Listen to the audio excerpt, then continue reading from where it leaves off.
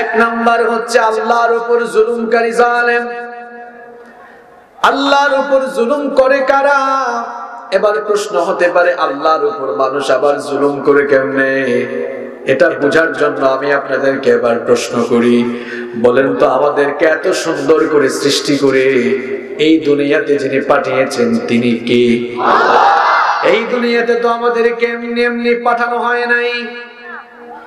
বিনা উদ্দেশ্যে এই দুনিয়াতে আমাকে, আপনাকে পাঠানো হয় নাই। তাহলে কি কারণে রব্বুল আলামিন এই দুনিয়াতে মানুষকে পাঠালেন? কোরআনুল কারীমের 51 নাম্বার সূরা সূরাতুয যারিয়াতের 56 নম্বর আয়াতের মাধ্যমে আল্লাহ সেই কথা জানালেন, ওয়ামা খালাকাতুল জিন্না ওয়াল ইনসা ইল্লা লিয়াবুদুন। I didn't create the jinn, I didn't create the jinn kind and mankind.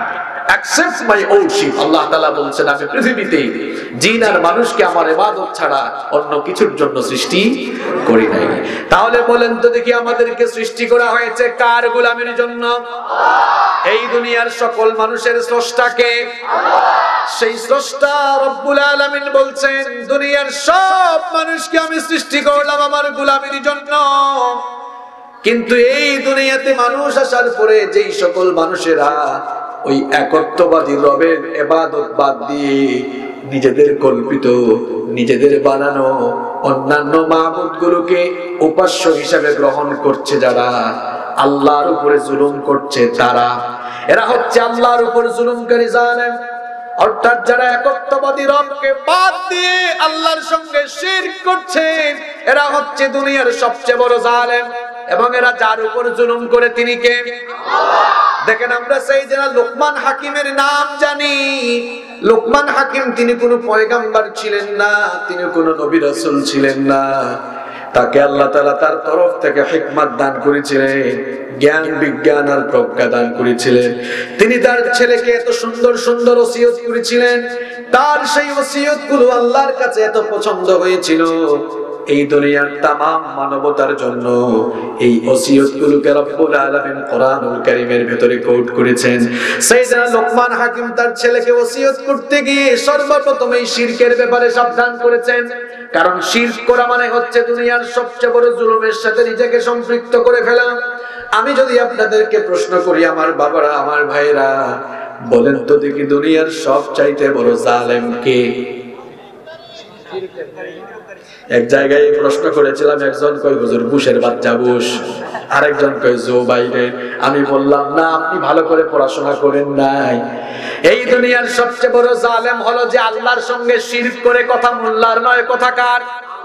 দেখেন সাইয়েদনা লোকমান হাকিম এই জন্য তার ছেলেকে সর্বপ্রথম শিরক নামক জুলুম থেকে সাবধান করতে গিয়ে তিনি বলেছেন, কোরআনুল কারীমের 31 নম্বর সূরা সূরা লোকমানের 13 নম্বর আয়াতে সাইয়েদনা লোকমান হাকিমের ওসিয়ত রব্বুল আলামিন তুলে দিয়েছে ওয়া ক্বালা لابنه وهو يعظه يا بني لا تشرك بالله إن الشرك لظلم عظيم আল্লাহ তাআলা বলছেন স্মরণ করো যখন লোকমান তার ছেলেকে ওসিয়ত করতে গিয়ে বললেন ইয়া বুনাইয়া লা তুশরিক বিল্লাহ হে আমার কলিজার টুকরা সন্তান আল্লাহর সঙ্গে তুমি শিরক করো না কারণ শিরক হলো সবচাইতে বড় জুলুম। তাহলে বলেন তো দুনিয়ার সবচাইতে বড় জুলুমের নাম কি? আরেকটু জুড়ে বলেন, দুনিয়ার সবচাইতে বড় জুলুমের নাম কি? তাহলে আমরা এক নম্বর পয়েন্ট নিয়ে আলোচনা করছিলাম, জালেম হলো তিন প্রকার। এক নম্বর, আল্লাহর উপর জুলুম করে যারা দুনিয়ার সবচাইতে বড় জালেম হলো আপনারা বলবেন, হুজুর, আমরা সোনাগাজীর মানুষ, এই এক নাম্বারের সাথে আমাদের কারও মিলে নাই।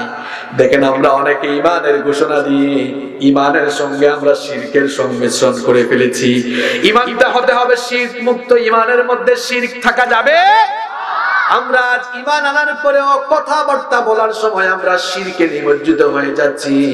আকিদার ক্ষেত্রে আমরা শির করে ফেলতেছি। কর্মকাণ্ডের মাধ্যমে আমরা শির করে ফেলতেছি।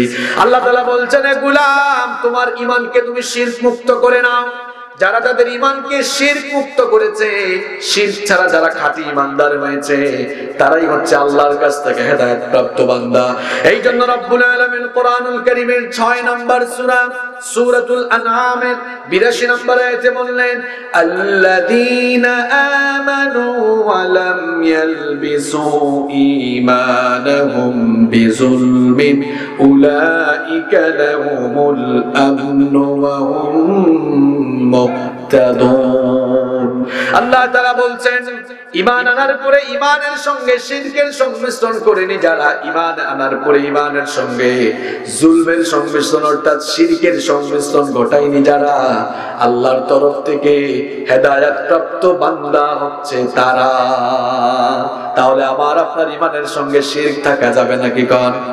কিন্তু আমরা তো এখন কথায় কথায় শিরক করি, কাজে করবে শিরক করি আল্লাহ তাআলা সূরা ফাতিহায় আমাদেরকে শিক্ষা দিয়েছেন, ইবাদত করবা একমাত্র আল্লাহর চাইবাও একমাত্র আল্লাহর কাছে। এজন্য পাঁচ ওয়াক্ত নামাজে আমরা সূরাতুল ফাতিহা তেলাওয়াতের সময় বলে, ইয়াকা না'বুদু ওয়া ইয়াকা নাস্তাঈন। আমরা কেবল তোমার ইবাদত করি আর তোমার কাছেই চাই। কিন্তু দেখা যায় নামাজ শেষ করার পরে জীবিত কিংবা মৃত মানুষের কাছে গিয়ে অথবা কবরের সামনে সাজদা দিয়ে অনেকেই দেখা যায় সাজদা দিয়ে দিয়ে যায়। এই চিত্র আমার সোনার বাংলাদেশে নাই। নামাজের ভেতরে বললেন, আপনি করেন, আল্লাহর কাছেই চান। তাহলে কি ব্যাপার নামাজ থেকে বের হয়ে কার কাছে সন্তান চান? সন্তান দেওয়ার মালিক কে বলেন। তাহলে আপনি কার কাছে গিয়ে সন্তান চান? আজ আমরা বিভিন্ন জায়গায় জীবিত ব্যক্তির কাছে, মৃত ব্যক্তির কাছে গিয়ে আমরা সন্তান চাইছি। আজ আমরা মাজারের মধ্যে গিয়ে টাকা দিয়ে পয়সা দিয়ে দিই।